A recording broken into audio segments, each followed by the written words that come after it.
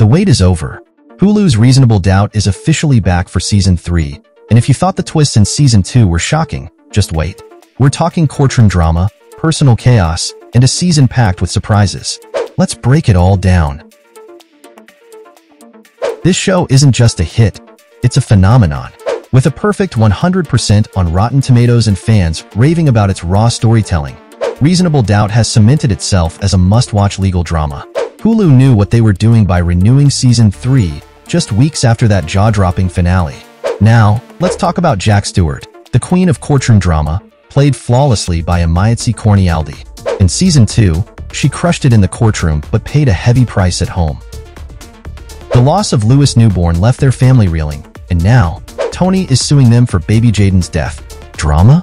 Oh, it's just getting started. Season 3 will push Jax to the edge, forcing her to defend herself and Lewis in court while dealing with their fractured relationship. Can she keep it together? Or will her world come crashing down? But it's not just about the drama. It's about what this show stands for.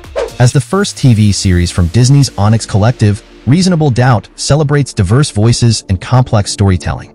Hulu's decision to renew it isn't just smart, it's groundbreaking. What can we expect in Season 3? New cases, deeper family turmoil, of course, those signature twists that leave us shouting at the screen. Will Jax and Lewis team up to survive this lawsuit? Will their relationship survive at all? And who else might enter the drama? Your guess is as good as ours. One thing's for sure, Season 3 is going to be fire. If you're as hyped as we are, hit that like button. And don't forget to subscribe to our channel for all the latest updates, theories, and behind-the-scenes looks. Trust us, you don't want to miss this ride. See you next time.